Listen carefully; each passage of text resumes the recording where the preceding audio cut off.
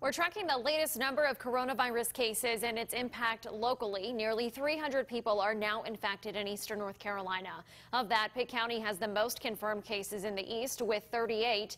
Several other counties confirmed additional cases over the weekend, including Onslow, Greene, Craven, Dare, and Duplin counties. Carteret County is also reporting its first death of a resident. This is the fourth coronavirus related death in the east, with others in Bertie, Onslow, and Wilson counties.